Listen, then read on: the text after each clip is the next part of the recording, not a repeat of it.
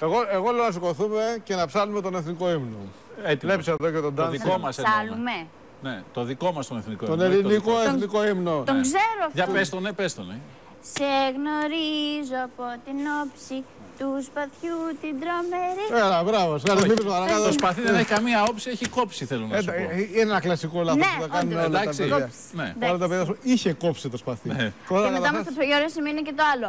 Απ' τα κόκαλα βγαλμένη των Ελλήνων τα ιερά. Μη μη μου τζώνεις. Αυτό είναι το θέμα, να μην μου τζώνεις. Εδώ είναι, Είναι νότα. Ε, είμαστε συγκινημένοι με αυτόν τον ε, ελληνικό εθνικό ύμνο γιατί ε, μας έχουν παντού, μας πλακώνουν. χιλιάδες. Δεν ξέρω αν έχεις δει αυτό το απαράδεκτο, το show, το Go Greek for a Week. Όπως τότε Το οποίο έγινε ο χαμός. παραδεκτότατο έτσι. Τελείωσε και γι' αυτό εμείς έχουμε έτοιμη μία απάντηση. Πριν μπούμε, έχουμε πολλές απαντήσεις. Η μία είναι μπλουζάκι. Όποιος να θέλει να μας τηλεφωνήσει, ο πρώτος που θα πάρει θα του το χαρίσει.